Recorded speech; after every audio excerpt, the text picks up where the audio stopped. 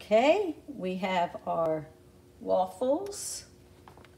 There's one and two. We're gonna put them back in, right? Remember?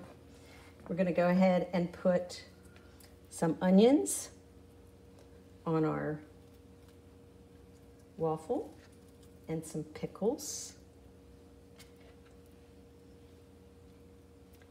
And a slice of cheese. You can use cheddar. I happen to be using Munster. And I'm gonna go ahead and I'm gonna fold it in half because I'm gonna be cutting this sandwich in half in, on the di diagonal.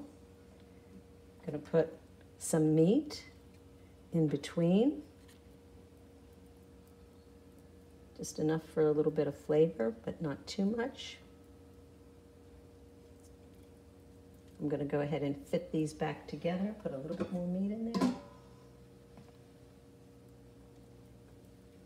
Put this back together and try to fit it on the waffle.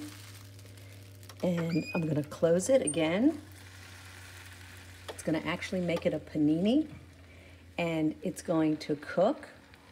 Let's see how long it says to put the Carefully fit the sandwich back into the bottom waffle plate. Cook in a closed position until the cheese is melted. And then we will return it. We will do it again. It looks like I have turned it off, so I need to go back and cancel and go back to my custom. I'm gonna turn it for just, go back to 350. And let's see how it's doing. You can see it's toasting up. How's our melt? Oh, the cheese almost melted. And that's what we're having for dinner tonight. So this new um, deluxe griddle, I can grill. I can use it as a griddle. I can use it as a waffle maker.